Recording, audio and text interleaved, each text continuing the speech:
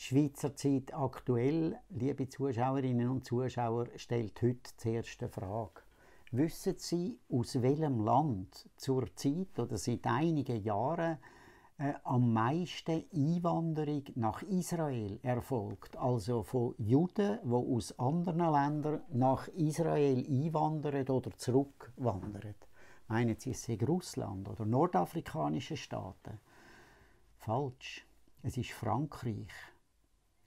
Und da stellt sich sofort die Frage, warum ist das so?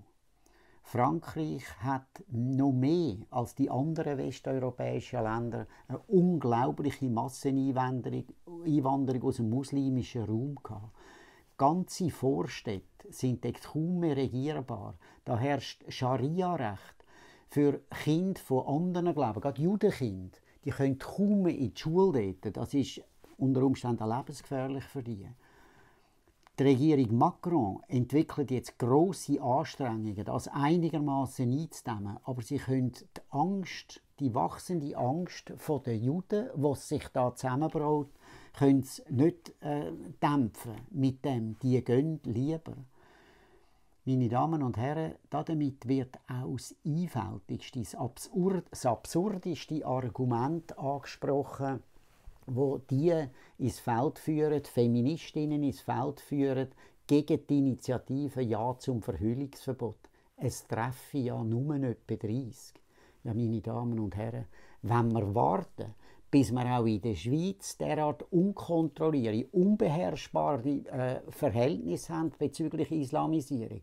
Dort würde es dann sagen, oh, hätte früher noch müssen jetzt ist es zu spät.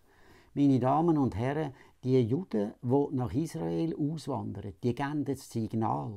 Während den Anfängen heißt das Signal. Das machen wir mit deren Initiative. Stimmen Sie zu, ja zum Verhüllungsverbot. Und diesen Feministinnen, die da dagegen auftreten, blindlings dagegen kämpfen, dann muss, die muss man fragen, sind ihr euch eigentlich bewusst, dass ihr für die Entrechtung der Frauen, für die Verweigerung der Gleichstellung äh, für die Frauen eintreten. Meine Damen und Herren, nicht blindlings kämpfen, mit Verstand kämpfen. Ja zum Verhüllungsverbot. Ihr Kommentar würde mich interessieren.